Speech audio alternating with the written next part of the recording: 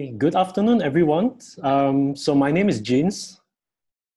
Um, I'm from Adqlo. So we are a big data company specialized in social media analytics, big data analysis, and also uh, BI, business intelligence dashboard design. So this is a report that we created in May. We released this in 8th of May, and uh, it's talking about you know the life after COVID, what what SME, what retail should do, you know, post COVID situations, how they can digitalize the business. So here we talk about eight different industry, um, more than 30 segments. So under these eight industry, we have more than 30 segments such as this. Uh, let me turn on my laser point. Um, okay, so you have fashions, F&B, beauty and wellness, department store, uh, uh, leisure and entertainment, sundry and services, IT, and hotel. So under these eight industries, we have crawled all their social media profiles and the posting from 1st of January until um, 14th of April. So we talk about before MCO and during MCO in Malaysia retail industries, how these brands cope with this MCO while they are unable to operate as usual, how they digitalize their businesses, how they able to create a very interesting content to engage with their audiences while people staying at home. So here I, I may not be able to talk about all these eight industry, each of the pages, because this report uh, we give away for free. Later I will put a link at the end of my speech. You can you guys can go and download the free report. There's more than 100, exactly 101 pages. Uh. So 101 pages, it may take a lot of time to digest the informations, but here I will talk about a few key learnings that I think is very useful and very meaningful for for you guys. So I will talk about fashions, F&B, beauty and wellness, department store, and leisure and entertainment. Then I will conclude with my own three key learnings, three factors that I think we all should adopt into our content marketing and digital marketing strategy, right?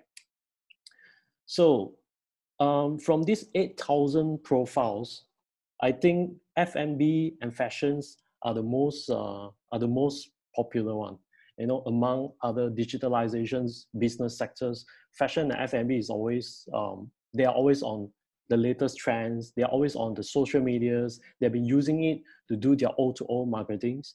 So here we can see it increased even more, you know, during MCO from 18th of March until 14th of April, we can see total increase 14% during MCO that they enable their e-commerce or their digital businesses.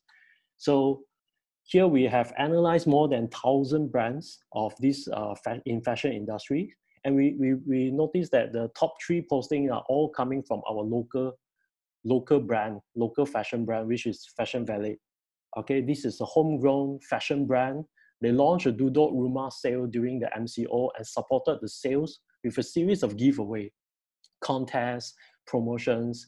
Um, people say that, oh, you know, staying at home, we don't need to buy so much clothes. But then brands who already adopt this digital earlier before this COVID, they have uh, using they have been able to utilize these social media trends, and uh, it, it is kind of advantage for them because they already digitalized their their business earlier. So to them, is is is not a big impact. But to those retail that haven't enabled their e-commerce, is pretty tough. But we also see that other brands like view fashions that they're able to ask people to uh, to engage with their audience while creating those content that is more relevant um, to MCO. So is is Facebook and Instagram and Twitter, YouTube, all these social media is more like a PR channels for this brand who are heavily invested in retail, but they not yet enable their e-commerce. They use this as a way to engage with their audience to remind them that hey, my brand is still here, and after MCO, you can always come back and shop. So we, we see some of the uh, biggest brand in Malaysia like J, JD Sport, all these, you will see a long queue in malls after they reopen their retails. And we also see that the Instagram and Facebook often they have a different kind of content strategy. And this is very right. And some people they just mirror the post, but actually on Facebook, Instagram, they have very different audiences. So you should create a different content uh, for, for different audience on different platforms. So overall brands like fashion brands, they, uh, they will explore innovative content such as online films, um, music videos, uh, those that can keep them staying on the trend. So our key learnings here in the fashion industry is to stay on trends. And e-commerce platform, um, I, I think they averagely they are still okay. They are still surviving during MCO. They are doing not bad. But those who are heavily relying on retail outlets that is more crucial. But this also pushed the fashion industry to towards uh, O2O and also fully e-commerce. Okay, so next we move to F&B industry. Um, F&B is definitely uh, a, a, tough industry to survive during MCO. But then we able to see a 20% jump during the MCO. And a few few days ago, we also saw that uh, Grab released a statement that during the MCO, more than 70,000 restaurants and cafes uh, created on Grab. So this uh, this also justifies that this data that you know more than thousand over brands we noticed that hey uh, it has been doubled from 21% jump to 46% during MCO that they enable their digitalizations. So what does it mean digitalizations for F&B industry? It means that they may set up their websites, um, they offer their own food delivery using their own logistic uh, options, or they may enable on Food Panda, um, StoreHub, um, and Grab, Grab Food as well. So uh, this pushed the restaurants to quickly adopt the digitalizations. And we see the contents from them is uh, quite interesting. And they, they created inspirations of their meals, um, trying to push their food delivery.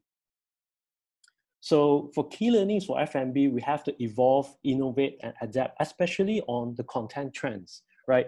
I, I, I myself, I've spoken to a few restaurants and cafe owners that they, they, they seems to be able to survive through MCO, but what's come next? Because we foresee the traffics and the crowds will be lesser as compared to before COVID, before MCO. So the, the one of the strategy here to give away is we have to leverage on the social media technology especially social media listening, data analytics, to quickly understand the consumer behavior on social media space and how to keep engaging your consumer by using the right strategy and the right trends, such as TikTok, such as Instagrams, and quickly create a new type of food, seasonal food options to, to leverage on that. So from food delivery to DIY cooking kits, food uh, uh, brands has been using this as a as, a, as their gimmicks to engage with their consumer, such as the uh, Japanese baked cheesecake, uh, such as the Dalgona coffee and bread as well. So all this has been um, a trend created during the MCO, and some of the cafes are able to recreate this product within their menus uh, and sell to their customers. It may not be very profiting, but it's a good way to remind your consumer that the brand is still there and you are doing something to keep engaging the users. Okay, so next we come to the beauty and wellness. Wow, this, this industry is definitely one of the top performing on e-commerce sales uh, during MCO. So we saw 11% increase. It's not that many as we expected, um, but some of the beauty products, especially the products, the physical goods, they're able to triple or, or increase four, three to four times of the e-commerce sales during MCO. Some brands are even doing better than last year 11 11. So this uh, this is the average sales uh, uh, statistic that we gotten from from the data that product goods are doing quite well on e-commerce, but for the services, especially like spa salons, that that is really tough for them because they their their business model is to serve their customer is to providing haircuts, hair treatments, and etc. So they are unable to do anything at all during this MCO periods.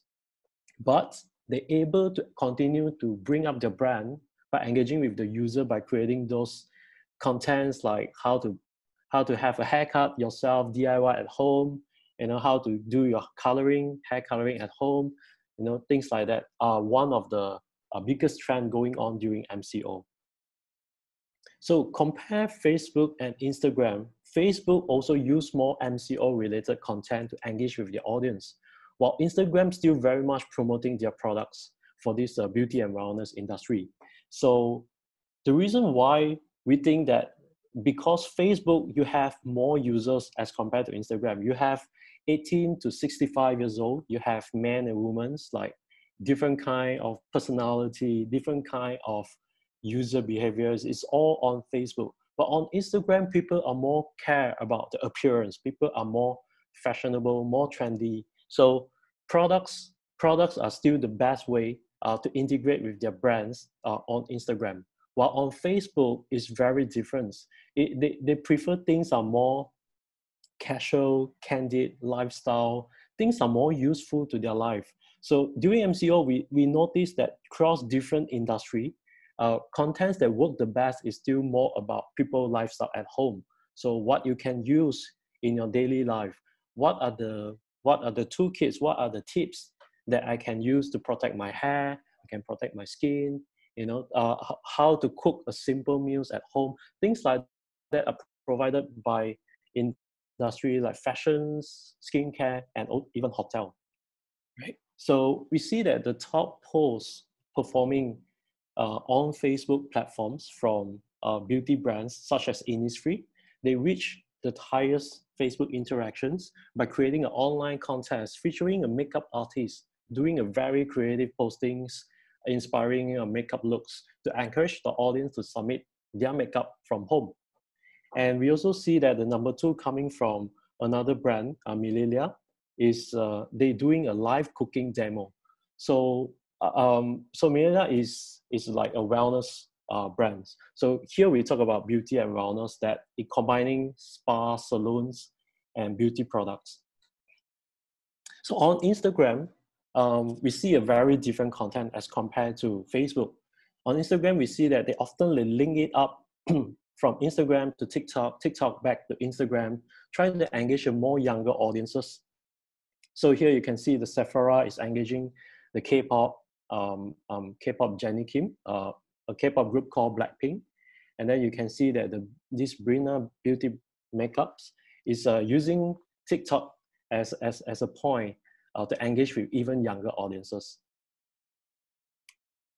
So the key learnings for this uh, beauty and wellness is um, stay well, stay home. And in-store services and treatments is unable to operate, but brands are coming up with more ways to engage with their consumer online, especially on TikTok, Instagram, and Facebook. So for e-commerce strategy is is not easy, but then it, it, it pushed them to adapt the digitalizations whether to provide the e-vouchers, selling on e-commerce, uh, all those strategy need to pair with a relevant content to ensure that your brand and consumer is still remain strong. So next, we go to department store and supermarkets. Um, this is um, incredible because of this MCO. Uh, the, only, the only retail business that is still allowed to open is supermarkets, grocery store, convenience store, and they've been doing well. And also because of this MCO, they they digitalize their business, they set up their e-commerce and also uh, grocery delivery, and this helped them to adopt the O2O strategy quickly as compared to other industry. So a 14% added during the MCO from these uh, supermarkets and grocery store.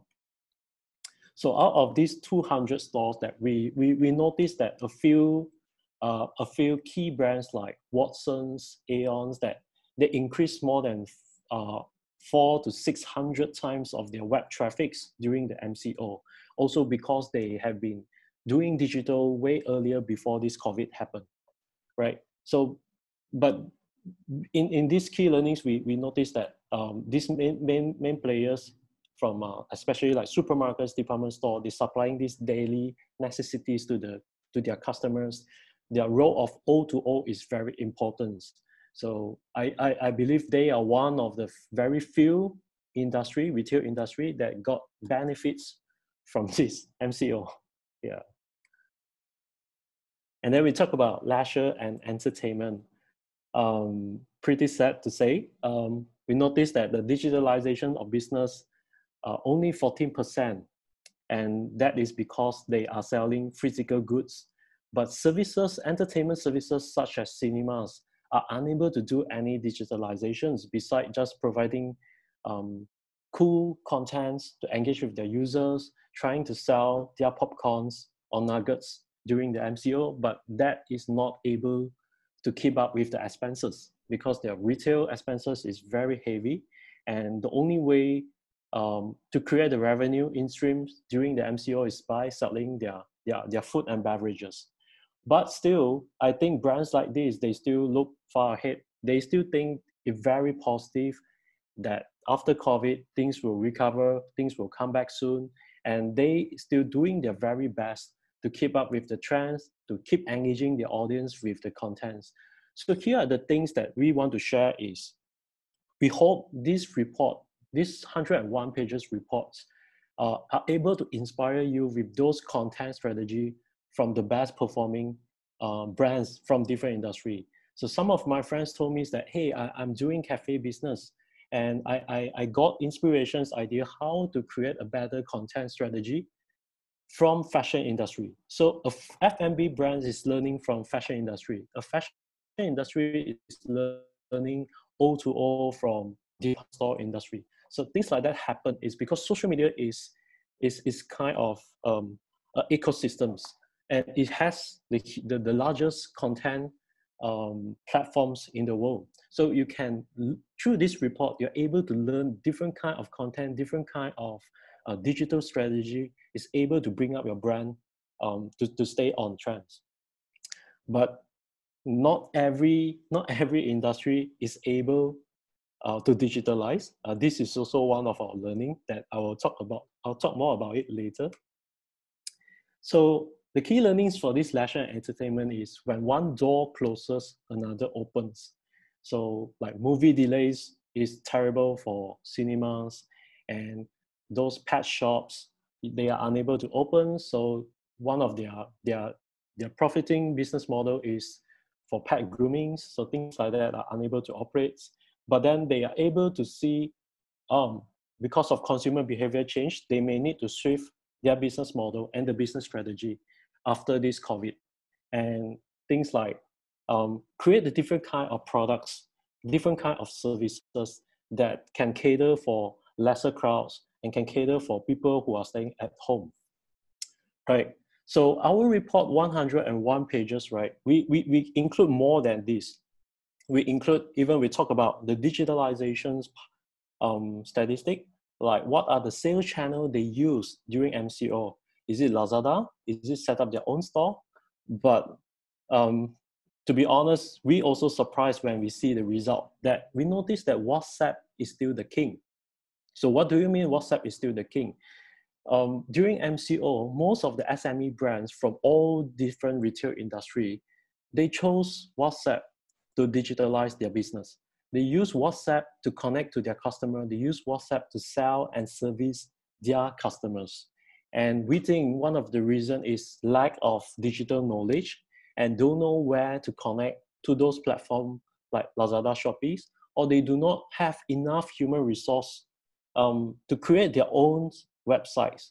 So even we, we, we know that uh, one of the, the, the most valuable e-commerce platform, the most affordable and the best way is by using Easy Store that are part of the exabytes business. So Easy Store, we also encourage more users to set up their own website, like using platform like Easy Store. And we, we, we are quite sad to see that WhatsApp is still the king because that when you compare to other region, other markets, right, their e-commerce has been growing super fast. Well, back in Malaysia, because of MCO, everyone have to do digital, everyone have to do e-commerce. But then they chose WhatsApp because that is zero cost and that is the easiest way, but that is a lot of manual works that need to be done. So this is our first uh, key learnings here. And we think this is not a very good news. And we still hope that uh, a, a more mature e-commerce infrastructure will be able to support more SME and help them to, to adopt e-commerce model.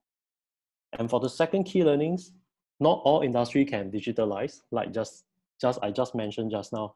Uh, industry like hotel is unable to digitalize. They can only keep creating um, contents, uh, uh, very um, lifestyle contents and, and, and marketing strategy to keep engaging with the users while users are staying at home. But because 99% of their revenue, revenue come from uh, services in the hotel, such as staying overnight, using their spa services, and etc. So all these are unable to digitalize. But we, we, we see that uh, most of the four to five star hotel brands is still able to um, leverage social media to engage with their fans. Uh, I, I think this is this is good, um, but provided you you must have a strong cash flow to survive through this period of time, then you can do a long term marketing strategy on digital.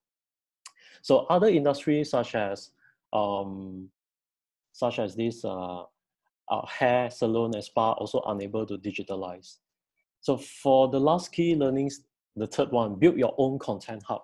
I, I think this is uh, one of the very important message that I hope to deliver um, in this sharing.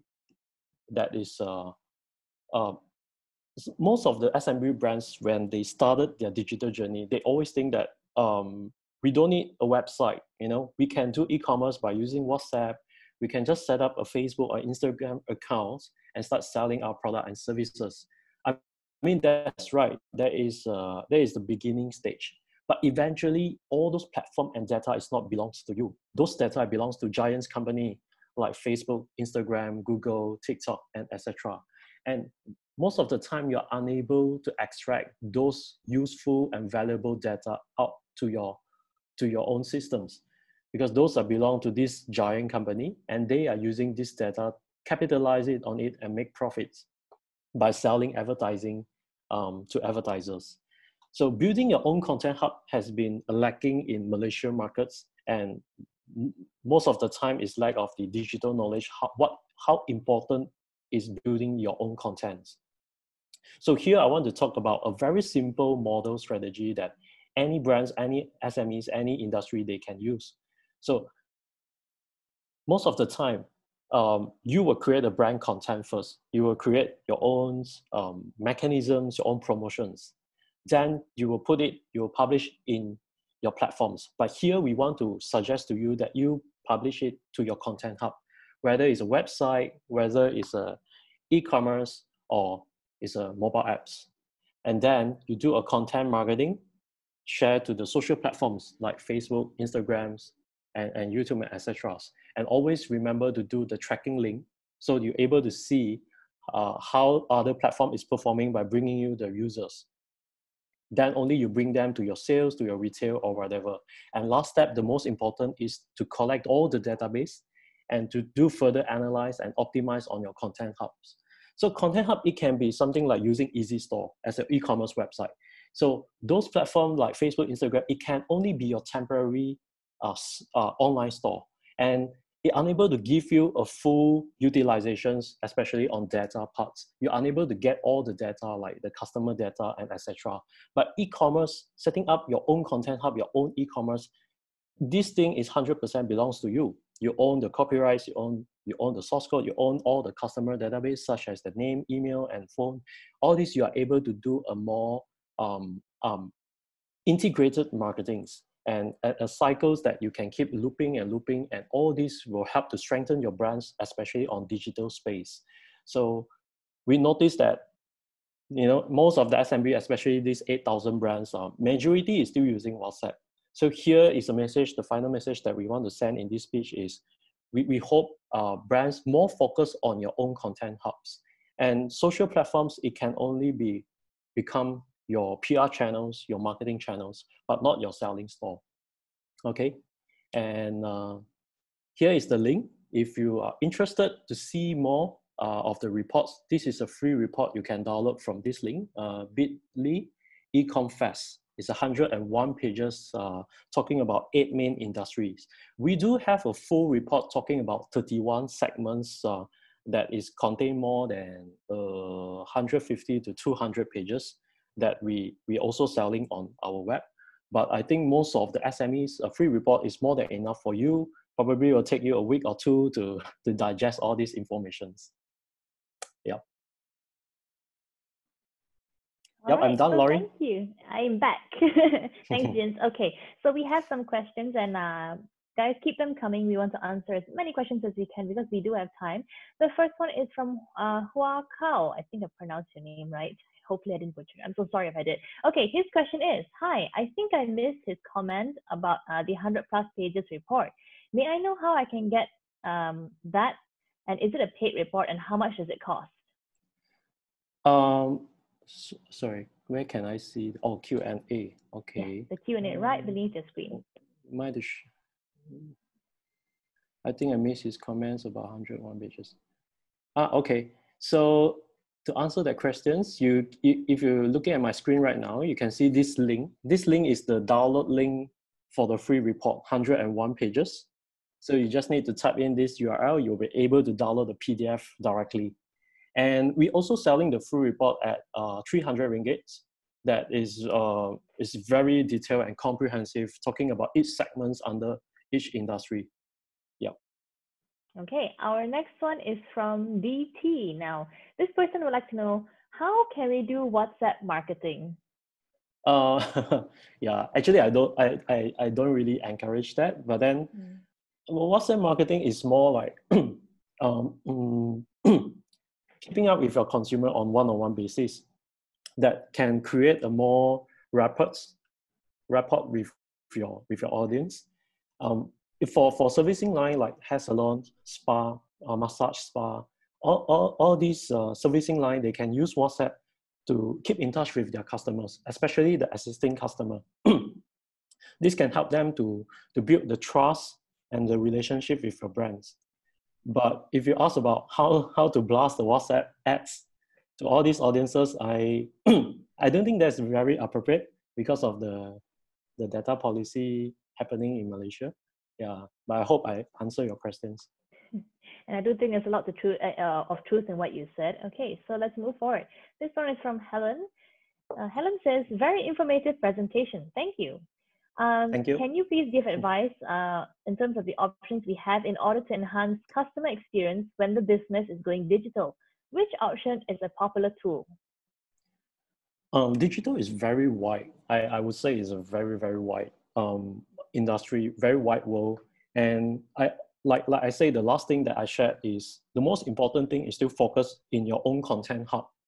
So people think that Facebook Facebook is a big ocean. Yes, it's a big ocean, but you you do not want to target every single person on Facebook. And sometimes when using ad boosting, you're unable to target exactly the right audience you want because those are the users that is very active on Facebook. So it's like you go you go fishing, you go to oceans. There's so many. There ha- there, there is sharks, there is uh, fishes, there is a whale, but you only want the shark. So the only way is to build your own pool, your fish pool. Like you build your own fish pond at your home, bringing in the fish from the oceans. So that is like building your own e-commerce website. It's like building your own fish pool. This pool it belongs to you. You can do whatever you like to them. You can change the design anytime. You can you can create different kind of database and and to retain the customers. You can remarket. You can retarget anytime. So the best tool I'd say, I think always start from, um, like you can use tools like Easy Store from from Exabytes. First is easy to use. Second is um, is very affordable some some of the brands they, they want to create their own e-commerce they want to tailor make and that can cost them a boom. And not to mention lack of human resource to maintain this heavy systems. So I, i'm not here to advertise for exabytes but I, I do mm-hmm. think markets need more tools like easy store to help smes who have a very limited budgets um, to grow into digital space Right. Now, just going back to what you said about Facebook there, perhaps maybe some of our users, if they were to say, because I know Facebook does have this function to sort of tailor ads to certain demographics in terms of age and where you stay, what would you say to people who would say, um, who would counter what you just said in terms of yep. advertising on Facebook? Yeah. So advertising on Facebook or platforms like Google or, or even YouTube is to help you to target to the right audience, to the audience that you want to target. But what happened after you target the right audience? They will go back to the Facebook and you didn't able to retain, them if you do not have a very solid content hub. So a content hub like your own websites or your own e-commerce store. So if you're able to target the right audience, you may want to convert them to your own e-commerce, your own store and retain them so that you can retarget them with a better strategy, with a more affordable um, marketing marketing method such as EDM, email blasts, such as WhatsApp marketing, after sales service, etc. So I'm talking, I'm not saying that Facebook is not helping you to target the right audience, but what are the actions that you take after you target the right audience? So if you do not have an e-commerce store, you're using Facebook or you're using WhatsApp to sell your product and services. So you use Facebook, you target the right audience. Then you don't have a, a place for them to go to, especially your, your, your own hub. So this, this is the thing that I want to emphasize. Mm. Absolutely. All right. Thank you.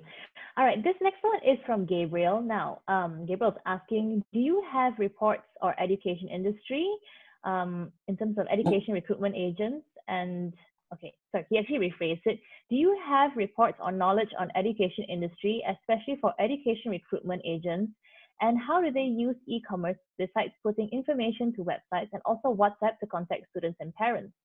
uh, education agents are selling services instead of like physical products? Mm. Uh, let me share a bit about how our platform works. Because we are a big data company, we do have these uh, a cloud software as a service platforms that uh, can empower users to crawl and analyze all the social media profiles. So such as you want to know the trend of coffee, you can you can you can you can analyze certain hashtags happening on Instagrams on and Twitters. So you can you can grab some insights what is happening in Malaysia's in coffee industry. But it only limited to a few social media platforms such as Twitter, Instagram, Facebook. Sorry. So, so back to the questions. Can we crawl education industry? Yes, provided if they have active on social media platforms. Then we can we can crawl about how they do their contents, how they approach their audience, and how they sell their products on social media platforms. So we can crawl any kind of um, brands or industry. It doesn't limit, but it doesn't limited by industry or brands. It's limited by platforms. So you, you can visit to my website adqlo.com to see how the platform works.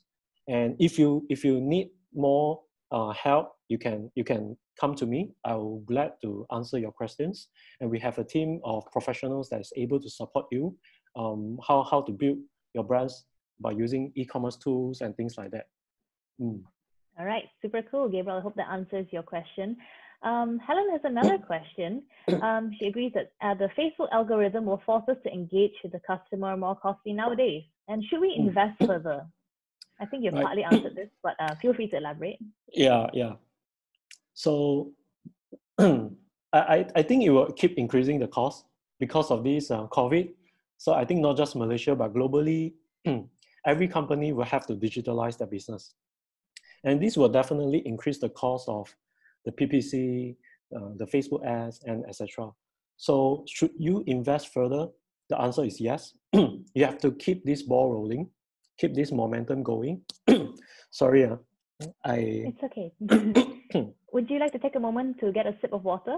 Yeah, yeah, yeah. Give me a minute. I'll, I'll join you so you don't feel alone. I've got my, my bottle right here. okay. Okay. So you, you, you still you, you you should keep investing in this in this game uh, because if not you will lose all the visibility for your brands. Not all brands are able to keep viral and viral every day, but you should focus on certain metrics that can help you to profit and capitalize on these Facebook ads or other ads. So ROAS is one of it, return on advertising spend, uh, how much you spend and how much revenue come in in return from the ads. So all these metrics is usable and very useful for, for e-commerce businesses. If, if not, you will just keep blindly throwing in money to invest on ads, but you don't see the profits. So you must learn a few conversion metrics that is able to capitalize on these Facebook ads. Uh, don't care about the cost, but focus on the revenue coming back. What are the what are the break-even points from your investments? What is the RI that you want to focus? Not the likes, not the views, but the traffics, but the data that is going to your own content hub. That is the things that you should focus. So things will keep increasing. So I, I believe even your own product and services, you will keep increasing the cost as well. You know, so I think it's very normal for Facebook to increase the cost. Mm. Okay, um, we still have time for two more questions. Uh, but guys, if you have any more questions for Ginz, just go right ahead, type them and leave them in the Q&A box and he'll get back to you even after his session. He'll do that offline. Our next one is from Joanne. Now, Joanne is asking, can you elaborate more on Content Hub? Mm. So let me repeat again. Maybe I talked too fast just now. Um, Content Hub is like building your own building your own house. Okay, right now selling on Facebook or selling on WhatsApp is just like uh, sleeping in other people's house, and you didn't pay the rent. So anytime this uh, landlord can kick you out. You know, if they don't like or mistake you for anything that is violating their policy, they'll just close your page, and you don't you, you will lose all the efforts that you have invested earlier. So Content Hub is the place that is belongs to you. The land is belongs to you the house is belongs to you the interior design is up to you to to change. Is is very heavy investment you know to some people because you need you need people you need talents to maintain it. You need to keep it active. But this is the place that you can retain your customers and you can resell upsell to your to your customers so content hub in digital space is like your e-commerce store so to grab their content hub is the mobile apps, the iOS, the Android apps. But to SMEs who selling products, e-commerce store, using Easy Store can become their own content hub because this is the place that they can customize and, and it's, it's entirely belongs to them, the domains, the database. So the important part of the content hub is to own everything that, especially the technology platforms, it belongs to you. And the most important is you are able to get all kind of data about the customers on Facebook, they do not give you all data. And some people may say, hey, I can use lead generations ads, then I can get their database. Yes, you need to pay even more. And this may not be good for long term. And I think just to add on to what you said as well, because it makes a lot of sense when you own something wholly and completely, I think it does give you like uh, a better sense of being able to how you want to change things in the future. And it gives you also a sense of direction. And I, I really, really do agree with that. So thank you so much for that input. Thank you. Okay, we will take uh, two more questions. I think we have time for two more. We're just trying to squeeze in as much as possible right now. The next one comes from Chia Yi. Now, Cherry is asking, hi, we are having difficulty to draw customers to our website, even though we have tried to increase our exposure in social media. Uh, I'm not sure what the missing link is. Perhaps you want to add on to this? Mm. I, I think a lot of uh, a lot of SMEs, when they started the digital journey, um, this is the the top one challenge, the top one questions. Like we, we have this content hub, we have this website, we we done a lot on Facebook ads, but then there's no sales, there's no traffic to our websites. So what is the missing link? I, I, I think the missing link is especially on the content parts and the performance part. so if you have a very good content, but you lack of a good performance marketing, uh, it's like having a very beautiful wife at home, but you don't allow the wife to go out. So nobody can see how pretty is your wife or how handsome is your husband. And having a good performance marketing without a good content strategy is like um, it's like you keep going out, but then you you don't you you know you don't make up, you don't you don't you don't brush up yourself, you don't build the confidence, but you keep going out to social with the people, but people just don't like you. So I, I think the good strategy, especially for e-commerce, is to to have a balance of performance marketing and content marketing. So a good content integrating with a good performance marketing can give you a better ROI. And we always believe in that. So you must have a balancing between the performance and contents and always do things based on data, not based on your sense. So we saw a lot of really creative people. Um, they, they have very uh, rich experience background in advertising industry, uh, 20 years, 30 years, and they always think, sometimes they will, they will think objectively, they say, red color is the best because Ferrari used red color, you know, things like that. But when they do it on social media, it failed. But if you have a data analytics to support what you think, that sometimes is different based on the big data. Blue color is better than red. Yellow is the best. You know, reason can be blah blah blah blah blah.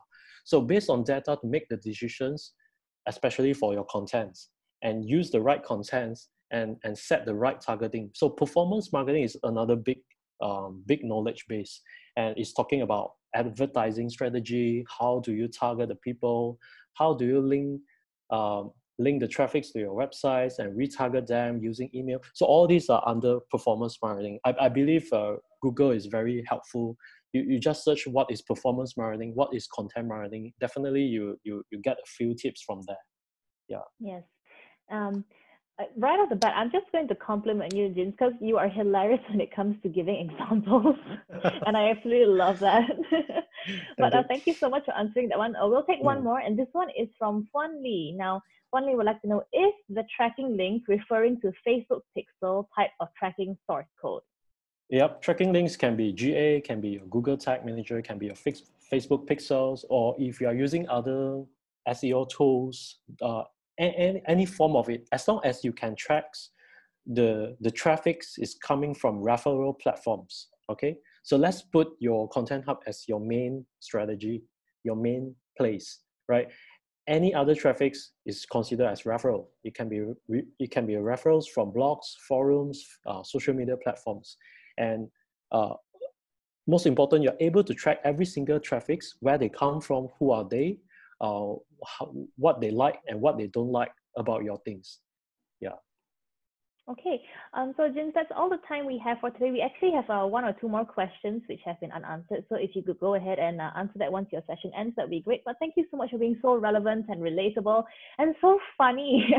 there were so many times when you gave uh, examples. I'm not, not, I'm not purposely doing that, but I think um, we, we, we, we talk to a lot of people, especially SMEs. They sometimes they think digital is very deep very complicated yeah. with those uh, uh, you know jargons and terms and metrics you know. Like facebook itself they have more than 200 metrics. Google they have more than 300 metrics. So we, we have to make it simple for sme to understand by using those uh, I don't know lifestyle jobs or some you know simple terms that they can understand how it works and yeah. I think when you also add in humor, it makes the learning process a lot lighter and a lot easier. And it's so it was so fun to just listen to you for this last 45 minutes. And to everyone who's watching, let's give him a virtual round of applause. Thank you so much for your job well done. Ginz, uh, do stay on. We have one more sharing session and it's from Exabytes itself. But on hold, just thank you for joining us at e-commerce fest 2020. Thanks. All right. Um, you're welcome to stay and have a great day. Bye. Bye bye. Exabytes grow your business online.